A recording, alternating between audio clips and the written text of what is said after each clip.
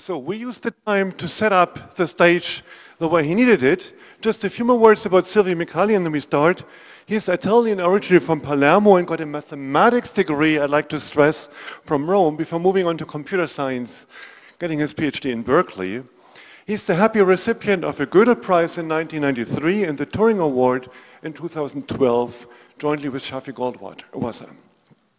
He is one of the inventors of zero-knowledge proofs, one concept that's always fascinated me quite a bit, and has worked on public key crypto systems, pseudo-random functions, digital systems, uh, signatures, and many more.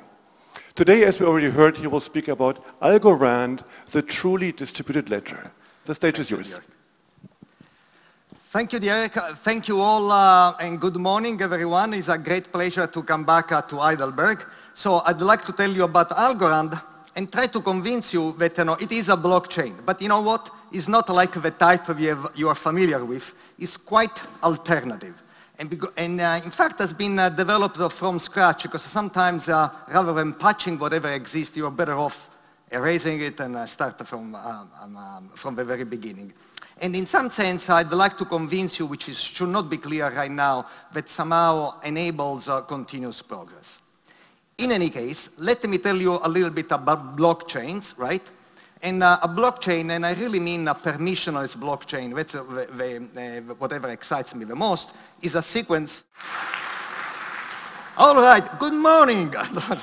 Algorand, and you know, is an alternative developed from first principles, and whatever that means for now, enabling continuous progress.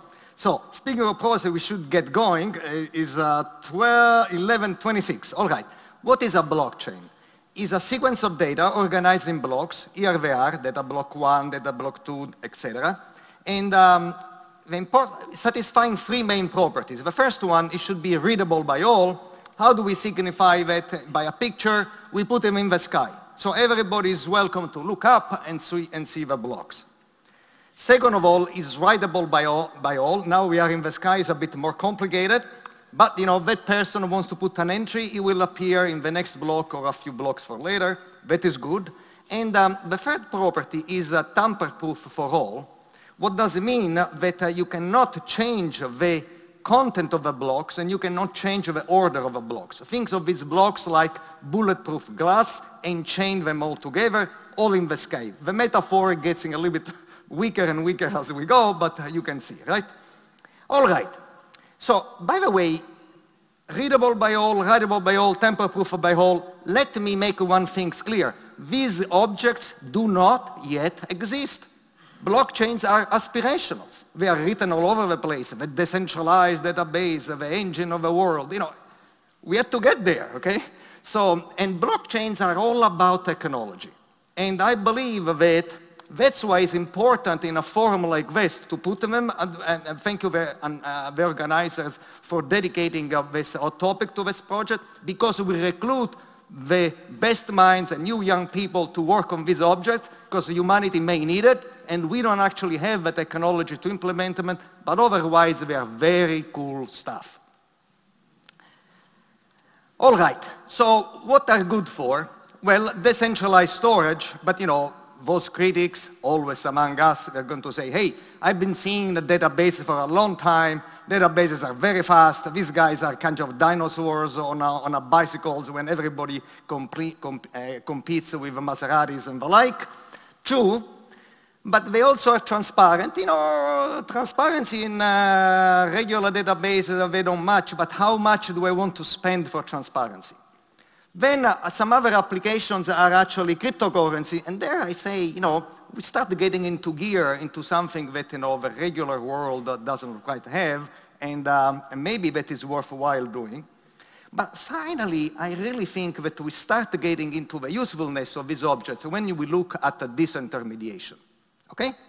So let me uh, um, assume uh, one thing, so that um, there is, uh, you know, Andreas, right, among us, and I are in different continent. Assume we do not know each other, and therefore we do not trust each other very much, but uh, we have uh, negotiated a contract, and now we want to execute it. Means, you know, how do we do that? I say so. Andreas, you know, don't let the Atlantic Ocean separate us. You know, digitally sign, you know, we have Whit here, Whit here, we have um, uh, Martin here, you know, we, we, know about, you know, digital signature. Digitally sign, and I promise to digitally countersign, and now we have an executed contract. What Andreas is going to say is, Silvio, brilliant, but may I suggest even a better idea? Please do. How about you digitally sign first and send it to me, and then I promise to countersign and, and, and send it to you? Because whoever signed first is on the hook, and the other person is not yet on the hook. QED. How do we solve these problems in the real world? They're simple. We find a common trusted party. Easy for you to say. Who is it?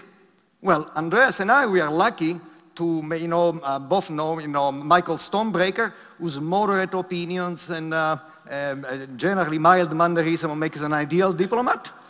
But uh, if we are not as lucky, how the hell are we going to find such a trusted party? And, um, but assuming we do, what are we going to do? Okay, now, dear Michael, uh, you are going to receive a, a, contract digitally signed by Silvio, another contract digitally signed uh, uh, by Andreas, verify Silvio's signature, verify Andreas' signature, verify bit by bit by bit that the contract is absolutely identical. And if this is the case, swap gives uh, Silvio's Andreas' signature and, uh, and Andreas' Silvio's signature, right? Two days later, because we had to explain this, and $2,000 later, because trusted parties wants to be paid, we have an executed contract. Assume instead that we have on the ledger, as slow and cumbersome as it appears to be nowadays. So I say, to Andreas, don't worry, I go first, okay? But the way I go first is as follows. I'm going to float on the network at a slightly different change of transaction. At a high level, what I want to do is to, is to say the following. I, Silvio, am obliged to this contract with Andrea. Andreas, if and only if my digital signature and Andreas' digital signatures both appear in block 151. Assume the current block is 150. A few seconds later, I look up in the sky. If my signatures and Andreas' signatures are both there, bingo, we have an executed contract. If instead mine is and not Andreas, or vice versa, because everybody by definition reads the thing and sees that not both signatures are there, I'm ready to sell the house to somebody else or whatever the contract allows me to do. Time, few seconds. Cost, zero. Nobody bets that. That is what, what the promise is, not in this distributed database and all. It is in uh, enabling disintermediated transactions in which you and I can deal unaided by anybody, leveraging the trust spread across a decentralized platform.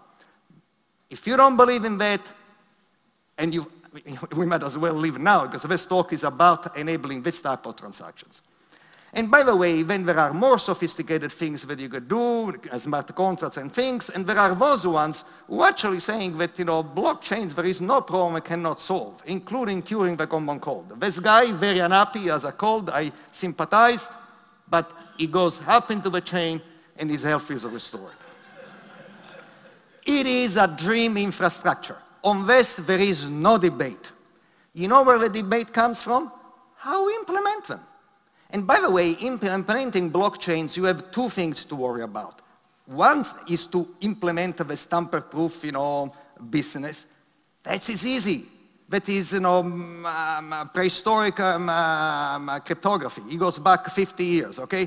So you take the hash of one block and you make it part of the next block. Done. Everybody does the same. 2,000 cryptocurrencies right now, they all do the chaining the same way.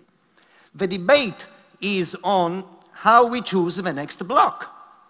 And that's what the debate is. And I wanted to show you how Algorand chooses the next block. And uh, Eva and Andreas yesterday informed me, says, by the way, Silvio, as you imagine, you have to give also an historical account to all blockchains that preceded you. An offer I couldn't refuse. So I made a few slides, and uh, how do we choose the next block? Well, there are two ways, the everyone else way and the Algorand way. And uh, don't worry, I'll be brief on everyone else's way, okay? All right. So any crypt cryptocurrency right now uses two basic tools. One is uh, digital signatures. You are familiar with that, you heard about it. Only I can sign because I have a secret key. All of you can verify thanks to my public key. Very good. The other ingredient is really uh, an, uh, an ideal hash function think of it like, you know, a random oracle that takes an arbitrary long string and smashes down to 256 uh, um, um, um, random string with, is an oracle. If you call x several times, you get the same answer, random x, but this is a fixed random uh, number associated to it. And uh, guess what? Therefore, it's hard to find an x and a y, which are different to each, from each other, that have the same hash. Of course, by a counting argument, there is many more x's than h of x's, so by a counting argument, there should be plenty of collisions. Good luck finding one. Okay? So these two ingredients satisfy, in, are enough. So how do we do the chains? So in the example of a cryptocurrency, the transaction we care about are payments. So a block contains a bunch of new payments which are valid relative to the history of the chain so far. And uh, also it takes the, the hash of the previous block. And why this is, is, uh, is important because this prevents anybody from changing the content of the block without being caught. Assume that the blocks are so chained by this very simple rule, and assume that I come by nighttime when nobody, the sky is dark, and I change something in block number two. Because block number three contains the hash of block number two, and because, you know, you cannot find two things whose hash are the same, so the initial portion of, of the block B3 is changed, and, and, therefore B3 is no longer the same. It has to be B3 prime. And then guess what? By induction, that circuit increase, a change in the first block causes a, a change in the last block. So if you do know the, the last block, then hop, you reject this change in the block because you see that something has been messed up. That's the idea. That's how we do the chain. Isn't that simple? Now, let's look about the next block. Let me give you a few seconds over the internet. In this picture, I have only space for five players. By times a billion, you get the right, roughly the right amount. And uh, we have a bunch of payments, okay? What, because we don't trust anybody, right, it's a blockchain is a decentralized, if you want to make a payment to somebody, how do you do it? You send it to 10 people, and each of them sends to another 10 people. And so in 10 hops, you cover planet Earth. And if you receive back something that you already sent before, don't do it again. So that's the idea. But you know, let's see this in action. Ready? These payments floats all over the place, generating a dust in which nobody sees anything. So let's the dust settle, and you can see that uh, focusing on just the green player and the black player, they, you see almost the same transaction that I see, right? Because in a few seconds, maybe I've seen 90% of what you have seen and vice versa, but there is a 10% that matters. And so when we want to find an agreement on a chain, it is very important to establish exactly what you see. So the point, the technical point we want to solve is the following whose opinion we should adopt. And Nakamoto answer is, we use proof of work to do this. Let me tell you what it means. Assume that in a block you also put a random quantity. You choose your random quantity, I choose my random quantity. And I hash my content with my random quantity and you hash your content with a random quantity. Because we hash, you get 256 random bits out. Look at the last k bits you see, in the green player, the last k bits are 0, 0, 0, and in the, for the black player, they are not. So the green player is the winner. What does it mean? That his opinion is what counts. His block, because he is by chance lucky to find an R that squashed by the hash function ends in k zeros, pay attention to the green player block. That's the block we are going to put on the blockchain. Anybody else doesn't count. So once we have a winner, the winner worked very hard because, right, so if you get the k zeros in a row, and if you H is a random oracle, you should expect a 2 to the minus k probability of winning. So you try one R, you don't succeed. Try a different R, you don't succeed. Try and try and try and try and try until you get k zeros in a row. And therefore, because you spend so much you know, uh, treasure uh, in electricity and computation, you're going to get, uh, uh you win a few bucks. And uh, so the winner propagates his or her block, and everybody can verify that the block really ends in the right number of zeros, so you know that you're dealing with the right block.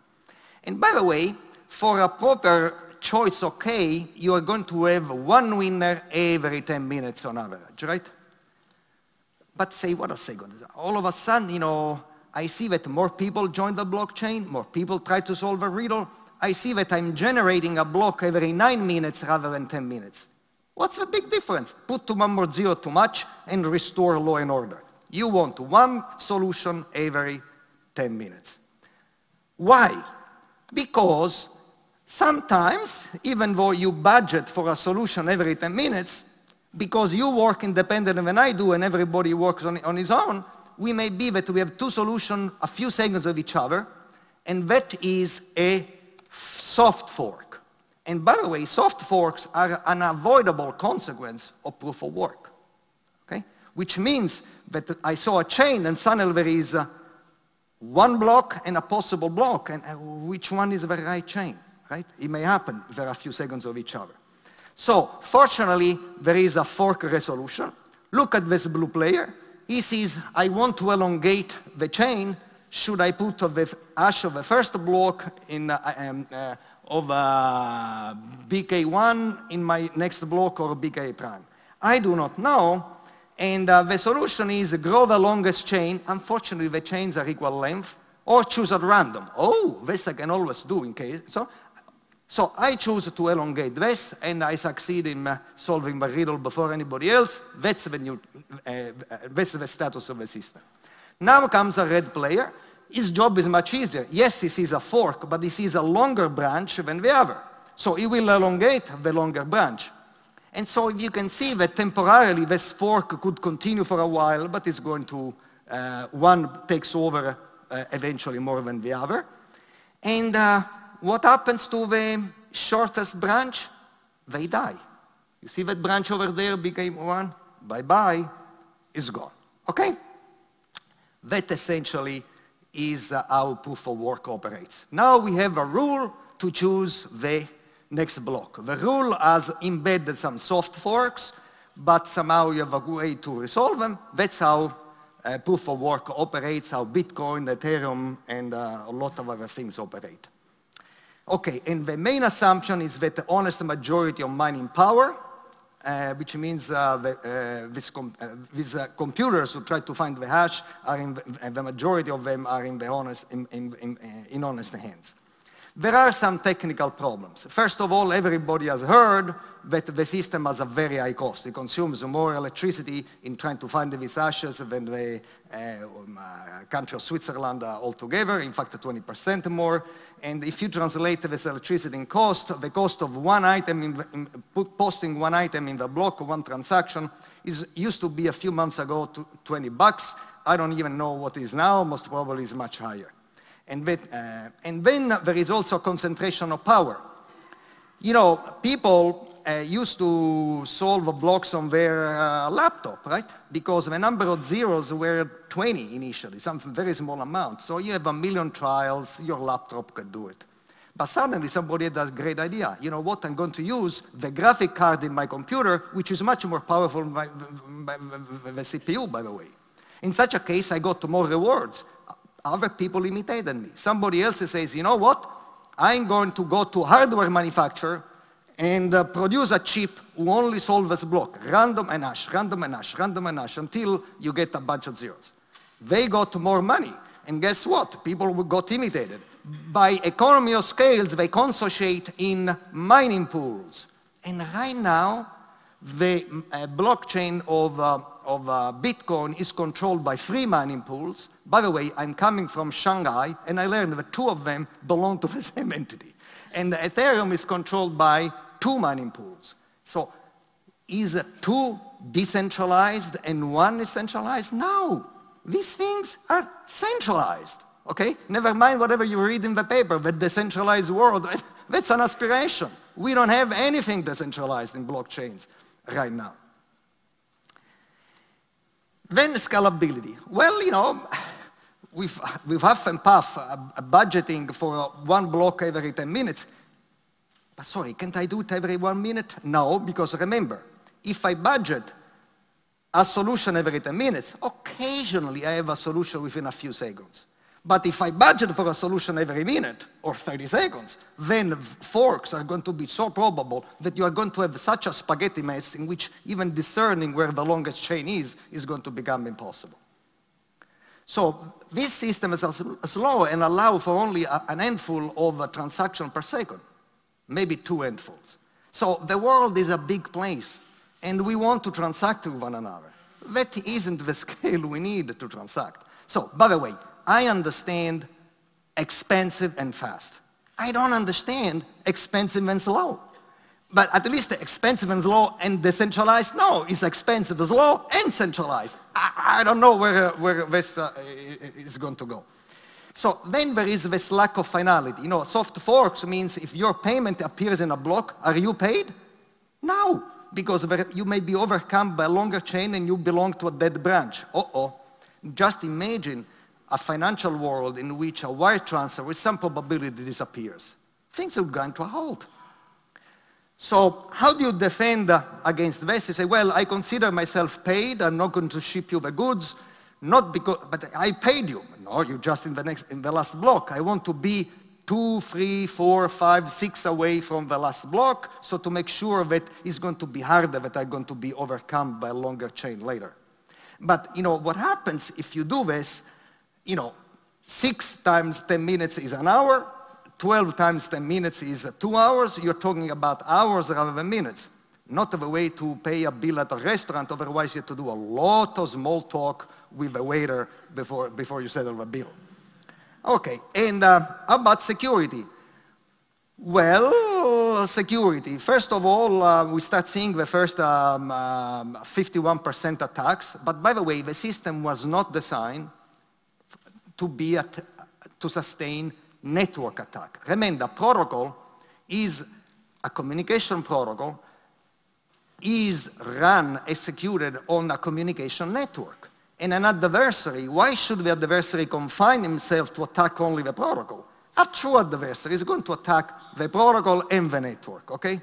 And if he attacks the network, with proof of work, for a reason that I have no time to get into, it's absolutely a disaster. He can really leave the system in a very sad state. You know what? I mean, proof of work and Nakamoto vision was the first idea, and it was also a great idea, okay, maybe at the time, but, but you know, we had to do better. Okay, that is what uh, we want to do. All right, what else can we do? Well, proof of work, now we have proof of stake. But proof of stake is a menu. Which proof of stake you want? Let me examine two proof of stakes for you, right?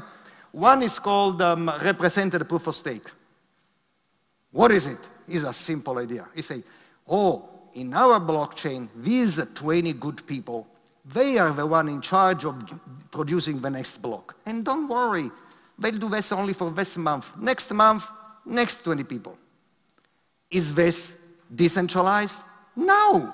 There are some other people who say, oh, because 20 is not the right answer. 50 is the right answer. Well, 20 is centralized, 50 is centralized, if you ask me.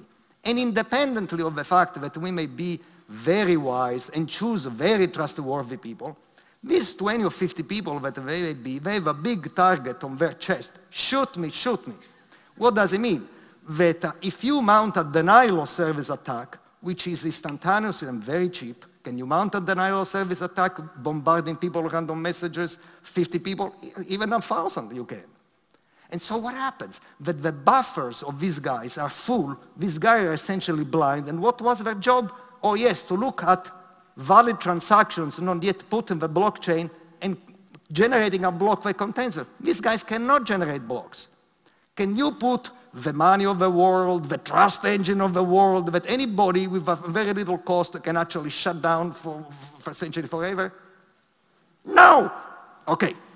So, next, bonded proof of stake. Ah, Represented proof of stake, bad. Bonded, good. What does bonded means? Oh, in this bonded system, we allow 20 people. We allow 200 people. We allow 2,000 people. We allow as many people are willing to do to push some money in the middle of the table where they cannot touch it, and the people who willingly put this money on the table generate the new block. And their influence in so doing is proportional to the amount of money that they put on the table.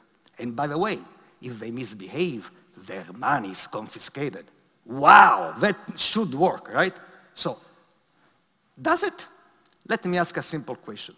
How much of your disposable income can you afford to put in the middle of a table where you cannot touch it? Not invested in stock, not in bonds, hostage. And the answer is very little. So in a system like this, what's happening is that you are making it not only legal, but even easy for big thieves with deep pockets to put a, a, a, a disproportionate amount of money in the middle of a table for the sole reason of controlling the blockchain. So but so what? Because if they misbehave, their money is confiscated. Two answers. First, there is plenty of bad people. But there are much fewer people who are both bad and stupid. And in order for having my money confiscated, I must be pretty stupid because I must do something so public to, to trigger the confiscation, such as I sign A and the opposite of A. Oop, I lose my money. But I can do a lot of things. If I can, for instance, uh, if I don't want to put Jennifer's transactions in the block, what can she do? Say, confiscate Silvio's money, she didn't put my transaction on the block. And says, which transaction? I didn't see anything. So there is a lot of things that you can do, but it's not going to trigger any confiscation. Second answer, okay, confiscate my money. L listen, if the stuff has to be the agent of the world, the trust of the world, it should have a trillion dollar of value in assets, okay, securing a blockchain. So I can easily, by cheating, making a billion dollars. So if I lose my $10 billion, that's just the cost of doing business. It's very little, I mean, there is no way to equate the value of the blockchain with the money in the middle of the table. So these are just systems that are either openly or uh, hiddenly centralized. And we know how to do centralized stuff. And somehow we can do better than that. So let me tell you instead the different proof of stake, which is the one that Algorand uses. I call it the pure proof of stake. Let me just give you know, an English definition for now is that first of all, no punishment are needed. And you confiscate people's money? Surely we could, but we don't want to, because this gives you a false impression of security, right? To say, in our blockchain, if somebody cheats, we cut off his hands. Makes me feel good because I have macabre uh, instinct like everybody else, but you know, thieves have always existed. These things don't work. It's much better to design a blockchain in which cheating is impossible than to have indulgent to the fantasy that I pursue the, the cheaters, ex post, and try to punish them. That doesn't work. And second of all, the money is always at your fingertips, okay? And, uh, and if um, not posted in the middle of a table, not segregated, in your wallet, in your, uh, ready to be spent. And somehow, if you compute all the money in the blockchain in any shape or form, if the majority of this money is in honest hands, the system works, period. Nobody can cheat, okay? That's, that's what we want to achieve. Put it uh, differently, you know, we have tokens or somehow coins or whatever you want to call them, and uh, each token is going to have uh, the same uh, power than any other token. There is not your token uh, is more important than mine, none of this. You take in consideration of them all, and everybody has the same power. And that, in some sense, is the ultimate distribution in a token system. And to achieve it is only a question of technology. It's not a question of anything else. So let me tell you how Algorand works uh, a little bit you know, at high level. It works in an effortless one-by-one -one Byzantine agreement. Very clear. Okay, let me parse it for you. So effortless and one by one. Okay, behold block one, the first block, so-called the Genesis block, okay? The Genesis block we don't need to agree upon because the Genesis block is written in the description of the system.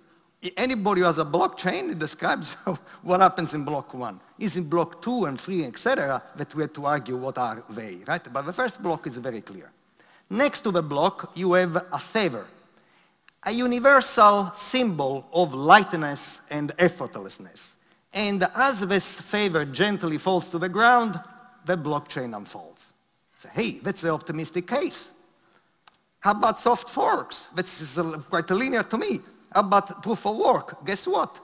In Algorand, there are no soft forks, and there are no proof of work. So what you have is a blockchain as it was defined to be. One block at a time, one after. So it is one at a time decided. Not one at a time and then if there is an, it's superseded by another branch. It's one block that appears, it stays forever. Okay, how about Byzantine agreement? Byzantine agreement is the gift of a Pease, uh, a Pease Shostak and Lamport, which you know, is uh, maybe here uh, with us uh, today. And it's a communication protocol, very cool. That is already over 30 years uh, ago. It is a very strong notion. It is a communication protocol that if we play, say, by us, by the people in this room, satisfies two property, agreement and consistency. And agreement means that uh, assume that each one of us starts with a value in their heads, right? We may have different values. At the end of a conversation, all honest among us agree on the same value. It is clear who is honest, who is not honest in this picture. How about consistency? Consistency means just in case, if, big if, everybody started with the same value, then not only they should agree on a common value, but they should agree on that value, okay? Ladies and gentlemen, to satisfy agreement without consistency is easy. Here is a one-step protocol to, put, to satisfy agreement. Honest players, no matter what your value is, output zero. Yes, ma'am. Zero. We are in agreement. But if we started with 27, we should agree on 27, not on zero, right? So you must have both properties to have, uh, to, for the, uh, to be meaningful. By the way, it's going to take a while to absorb this, but that is really the strongest notion of, uh, of, um, of reliability that there is in distributed computation. And uh, I want you to appreciate right away where we are going. What are these hypothetical values in people's head? Think of them. Remember, what is the block, next block according to me? What is the next block according to you? These are our values. At the end of a conversation, we should have a unique block because we need the chain to be visible by everybody, so we must have agreement on the block. Okay, that is the idea. But if this is the idea, there were already three decades of Byzantine agreement protocols. There is a challenge, however. These protocols are very slow. So much so that in the typical applications, which were, where time constraints were actually very dire, I must confess, the number of players was three, the highest number I've seen was 12. And now we are going to have things on a planetary scale, right? So that is a little bit, you know, hard. Second of all, there was the assumption that we should know who the players are. Like in game theory, the, the player set is defined beforehand. It's common knowledge. So in a blockchain where people are coming all over the world, I don't know who the players are, and I don't even know the players are going to come. So it's not fixed and it's not known. So we have a lot of work to do. But we do it, and at the end, that's what we're going to do, okay? what do we want to do to have a planetary agreement, a method to reach planetary agreement very, very, very fast. All right. Okay, let me summarize uh, some of the properties. It's a bunch of claims. Claims are cheap. What is the assumption? That the majority of the money is in honest hands. As mathematicians, what do we know? that the lesser the assumption, the better if you can get uh, the same results or better, right? So how does this compare with uh, the majority of mining equipment is in honest hands? It compares very well because money is fungible. With money, essentially, I can buy, if I'm an economist, anything, right? So, so therefore, if the majority of the money were in dishonest hand, nothing prevents to these dishonest people with a majority of the money to buy more mining equipment than everybody else, and therefore you would have a majority of mining equipment in dishonest hands, QED. So here's a lesser assumption. And what are the technical advantages? First of all, the computation is trivial. Define trivial. A few additions, um, uh, a few comparison of integers, a digital signatures a verification of a digital signature. Big deal. Things that any laptop can do. You don't need to have an investment uh, capital to invest to buy special equipment. Anybody can, can participate, can do this computation. Second property, true decentralization, right? As I said, every token is the same. And actually, there is a single class of users. Which user? Us, the people who have money in the system unaided by miners or other exogenous parties, okay? And the finality of payments. Why? Finality of transaction is very important. And why is achieved? Because there are no forks. Once you see a transaction is in a block, you're done. Because in Algorand, there is no forks. There are no soft forks. Actually, I'm lying. There is a small probability that there will be a fork. My probability is small. It's 10 to the minus 18. Are you familiar with this constant? I gather not, because I made it up. So let me tell you why I made it up. Because 10 to the 18 are the number of seconds that our friends, the physicists, tell us that have taken place from the Big Bang until now. Professor Phillips, please do not contradict me. I'll give you a gift afterwards, okay? so, in other words, if you are so good to produce a block a second, which is a pretty good clip, another way to do it is to say that yes, there may be a soft fork in Algorand once in a lifetime of the universe. What a beautiful idea that when we are all humans, we all do different things, but we understand, all of us, what the age of the universe means. And this probability of forks, I can sleep in peace, okay? All right, so then uh, um, scalability, well, you know, it is a decentralized system. By the way, nobody beats the, the, the efficiency of a centralized system. But what does it mean to be, uh, what is an optimal performance in a decentralized system? It means that we can produce a block as fast as we can propagate it. It cannot be any faster because to decide whether the payments in a block are valid, I must know what the previous block is. But, and we can achieve this, uh, this speed. We are not, in other words, remember, a block, even in a mom and pop network at 20 megabit per second, right? I mean, I have a, 100 megabit at home, now I have a gig, but uh, never mind. But uh, it, it, takes a few seconds. So, but the 10 minutes were artificial to prevent soft forks, right?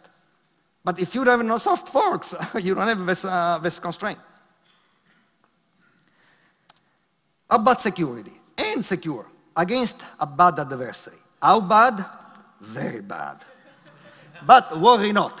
Algorand is here to defend you, okay? So let me tell you what does it mean bad here. Bad means that this adversary is capable of corrupting anybody he wants instantaneously, provided that he cannot corrupt more than a third of the nodes of the internet, okay? But that is pretty hard. And, um, and, and he can actually perfectly control and organize all these you know, corrupted people. They become zombies uh, in his hands and we do his willing, okay? The, and he can attack the protocol and he can attack the very communication network on which the protocol is run. The only one thing he cannot do is to forge your digital signature, which, by the way, if, if, if the scheme under uh, is, digital scheme is secure, then not even a nation state with huge uh, computational resources could do it anyway. So somehow, should we be so adversarial?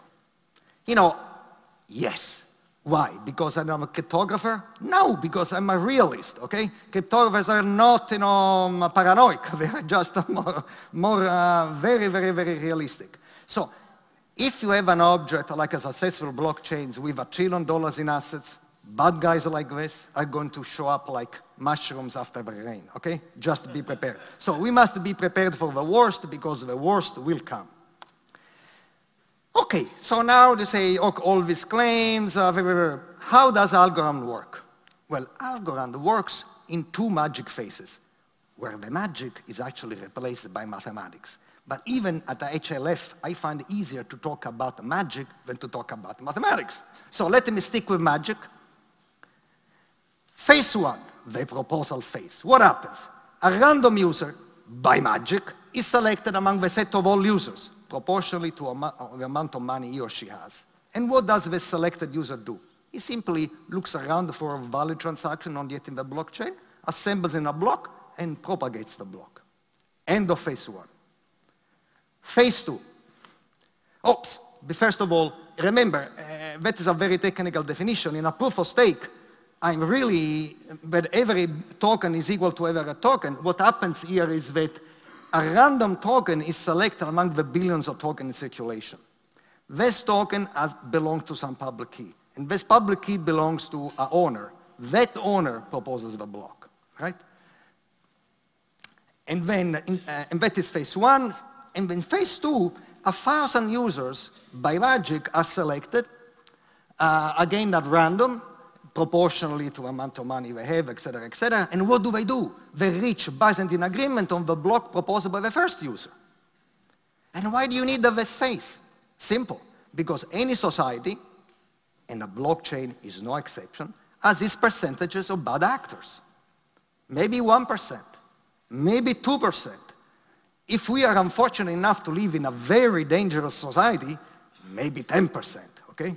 10% means that among us, there ought to be some, uh, I don't know, 50 criminals. That's pretty scary, okay? But maybe 20%, but we'll never be in a majority. Why? Because if there are a majority, there is no society, okay? The end, QED. So in a society in which we come out of here and we are mugged by the police, if we go to court and the, um, and the, um, uh, the judges incarcerates routinely the innocent, a jungle is a better organized place to live.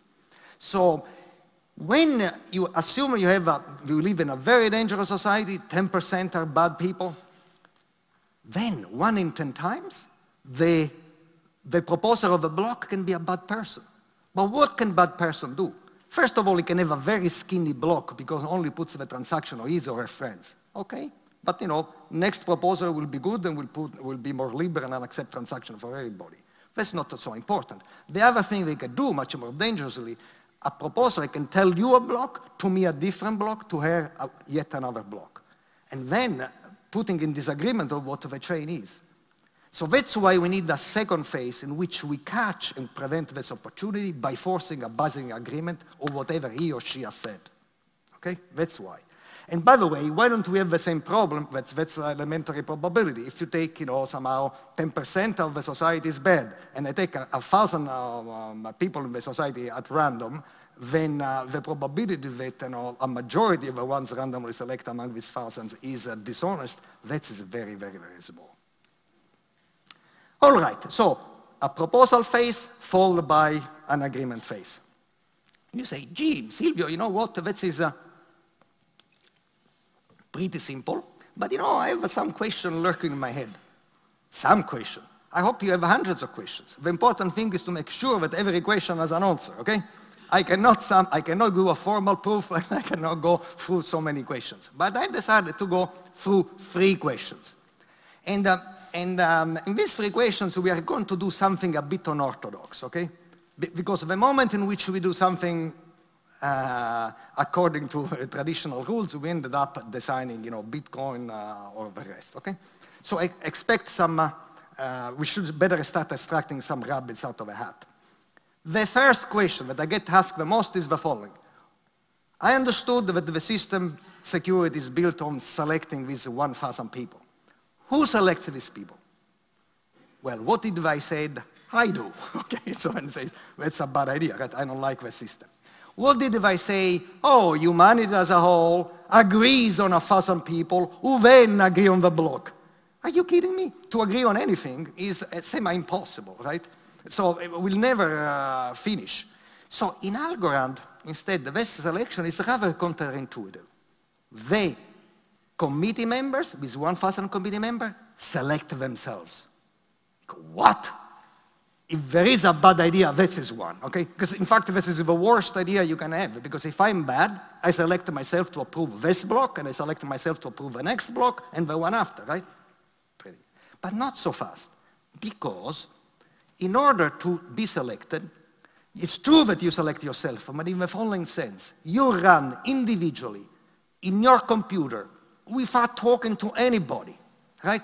In a fair cryptographic lottery so that is, um, um, uh, it's so secure that uh, you cannot, even if you have zillions of supercomputers, alter even minimally the probability of being selected.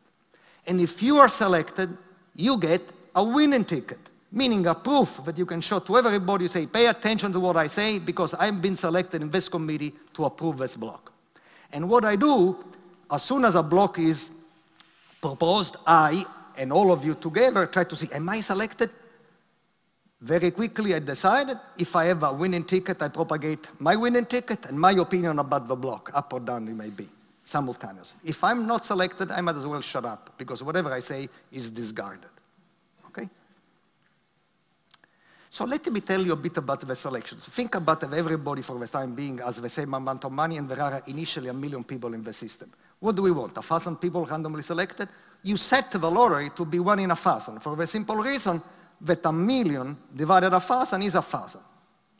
If there are a billion people, the lottery is automatically achieves you know, a million, so that a billion divided a million is still as a thousand. Okay, and by the way, you see now that it's very important that you are selected proportional to the amount of money you, you have. Why? Because otherwise I can conduct what in the business is called a Sybil attack, meaning I am not Silvio, I'm Silvio 1, Silvio 2, Silvio, say, Phil Silvio million. If any one of them wins, it's all me, I win, and I'm in the committee. Instead, in, uh, in Algorand, what happens? If, if I have one key with a million algos, or I have a million keys each with one algo, the probability of being selected is absolutely the same. So that's why this attack does not work. Okay, now let me argue that this way of doing things is both super fast and super secure. Let me start with super fast. How much does it take to do a lottery? A microsecond. And then all I have to do, if I win, is to propagate my winning ticket and my opinion about the block. Done, check. How about super secure? I am the big scary guy now. What is my job? To corrupt the committee. You know, I have a problem. I don't know whom I should corrupt. Right? Should I corrupt you, you, this person in the street, this other guy in Thailand? I don't know. Because the people who are going to be in the committee, you decide yourself by doing this internal lottery. I don't know who's going to have this winning ticket. However, as if you are winning, you propagate your winning ticket and your opinion about the block. Now I know who you are, and now I can corrupt you and all the other 999 people in the committee. But so what?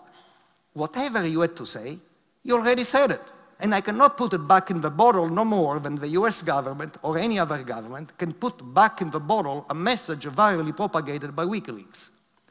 In other words, the system is secure because beforehand, I do not know whom I should corrupt, and ex post is too late to corrupt them. Okay, now we go to Byzantine Agreement. Didn't you, Silvio, say that that was a very slow process?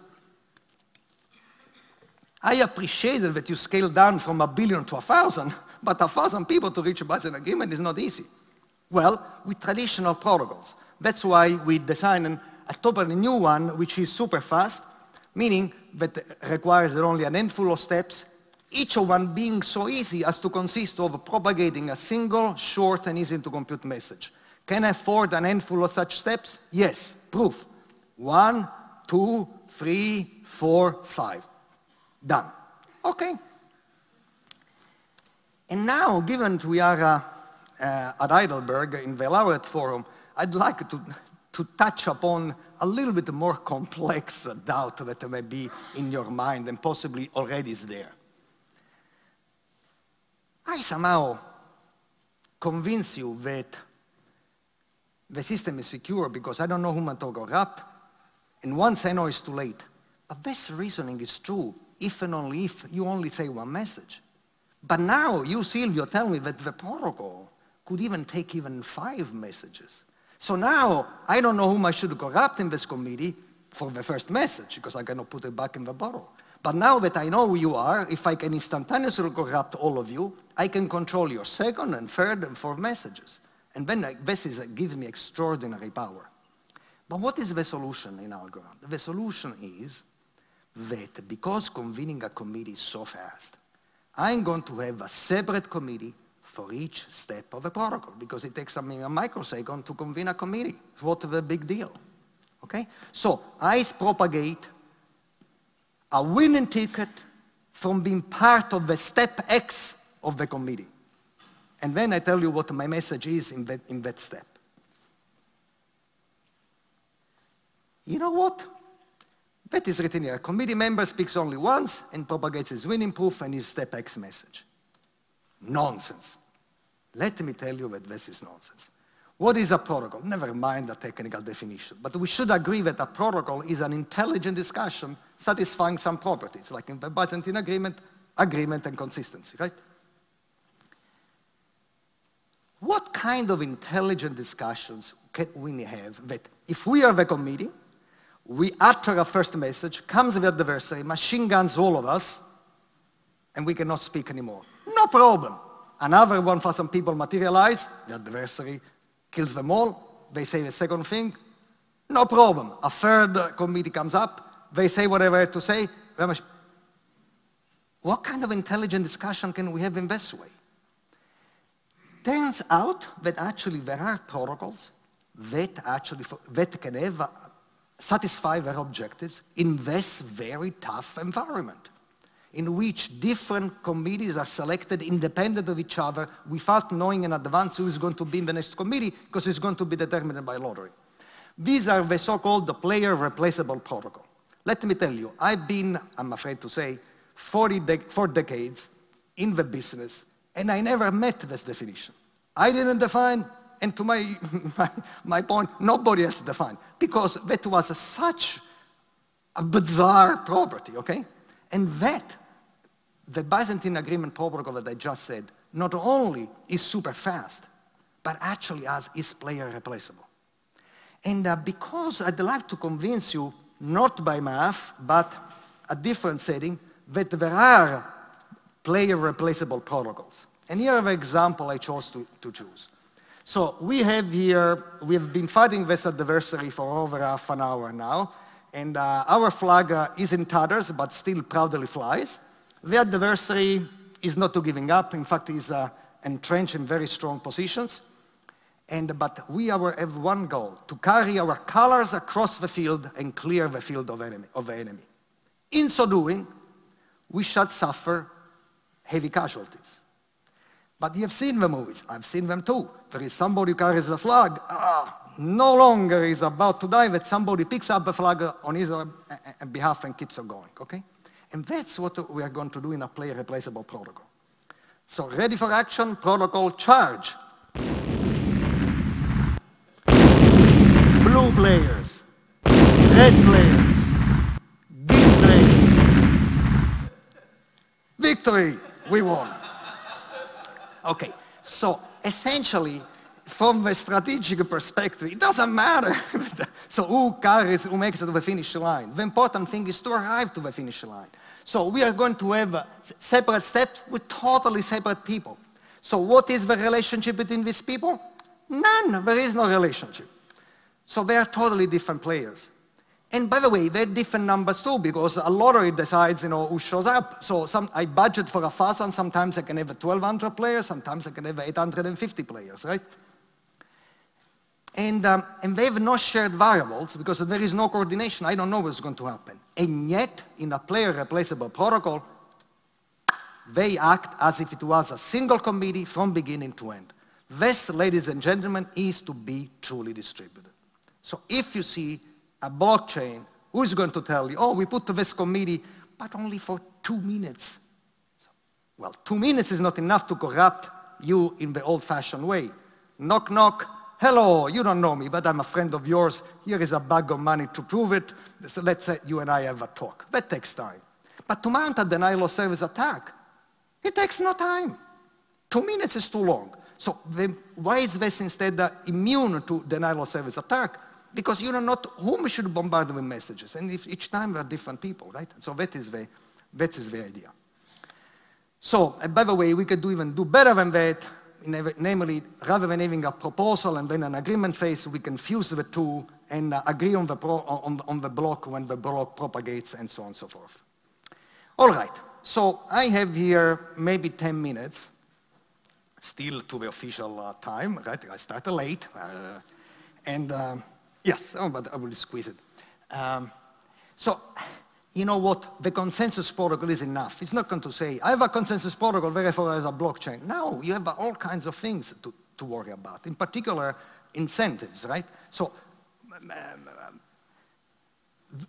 Nakamoto did not, in my opinion, foresaw the rise or welcome the rise of mining pools. Mining pools are a side product of an incentive scheme which was badly designed. So what we first do is to have a secure incentive scheme so that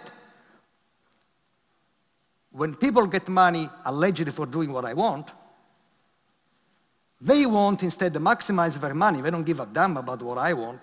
So we might make sure that when, if they maximize their money, they don't concentrate powers unwillingly in, in, in, in, in some other form. We have to have, you know, um, algorithmic stabilization, picking up a few things. Uh, why? Because everybody right now tries to solve scalability and decentralization. Good luck, they're tough problems to solve at the same time. But assume you solve them. So what if you don't have the stability of the currency? Assume that Amazon accepts euros, dollars, and algorithms, okay? Okay, I'm a button, I, have, I own some algo, maybe I should buy it. Or maybe I should buy 20 minutes later, if I suspect that the price is going to go in my favor. So to have somehow some uh, stability is uh, necessary. And I don't mean fixed to the dollar or fixed to the euro. I don't believe in this stuff. It means that I want to get rid, I don't want to fight the trend, up or down, or it be, but I want to fight, fight the daily fluctuations. And um, another thing that we should do is to minimize memory. Says, welcome to the blockchain. You want to be part of a blockchain? Excellent, welcome. Download from Adam and Eve all the blocks until now. What? That takes time, right? Very few people will join. So the trick is, is to make sure that to give the people who want to join a compact piece of information with a proof that the information is correct.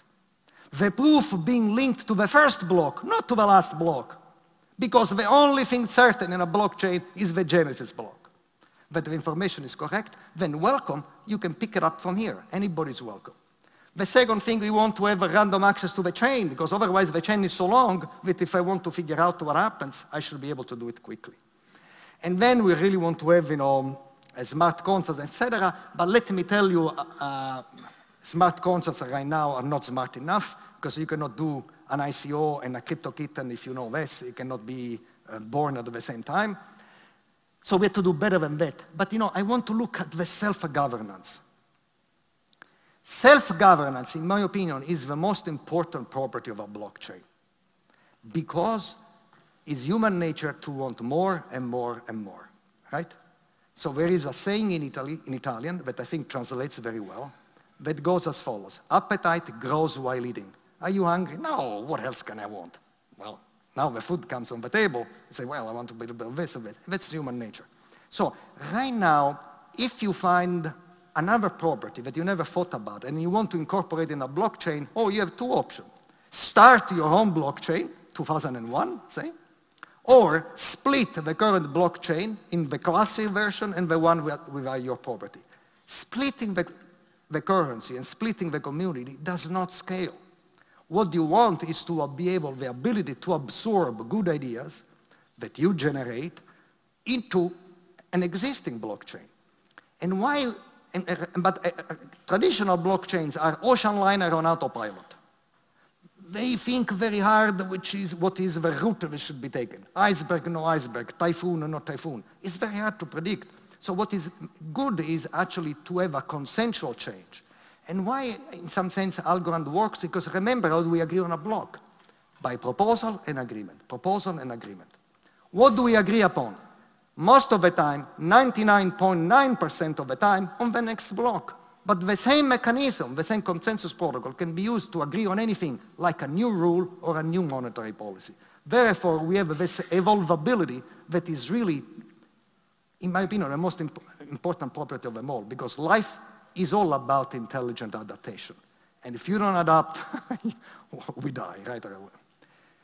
All right, so in some, no forks, no miners, no weight of confirmation, blah, blah, blah, trivial computation, availability, and uh, all these other uh, things. And by the way, these financial tools, I really think that you know, um, is good to aspire to a blockchain to have because it should be a goal to democratize finance. Because right now, the sophisticated financial transactions are only for the chosen few, and we can actually feed ourselves from the crumbs of their table. I think enough is enough, and I think why should any government produce bonds that only Goldman Sachs or Bank of America are able to buy, and then, then they sell it to us at a higher price. So now, so if we have the ability to directly participate, isn't this so much better?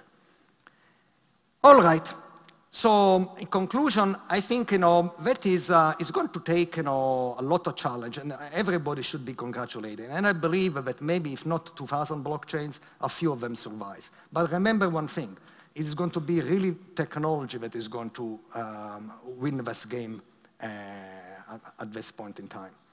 And so I'd like to leave you with an image uh, of the Julian Bridge the Julia Bridge in southern France, right, was built, I believe, uh, three before Christ. So it's uh, 2021 years of in, uninterrupted operation. And guess what? During medieval times, for at least a thousand years, it was not repaired at all. And until 2005, cars and trucks to go across, okay? Right now, they changed the policy. Only pedestrians can do. But it, this bridge was a marvelous of traditional physical architecture and enable, in fact, to people to transact and meet each other across the different sides of a river. And I believe that a blockchain, properly constructed, is going to be as beautiful and as useful to bridge as humanity together as any physical infrastructure that we have erected. So let's build it together and let's build it right. Because if we build it together and right, we are going to sustain the planet for many centuries to come the job of which was Mr. Atlas, as everybody knows. But, you know, after a few thousand years, he looked a little bit tired, so let's thank him for his job and let's take it from here. Thanks.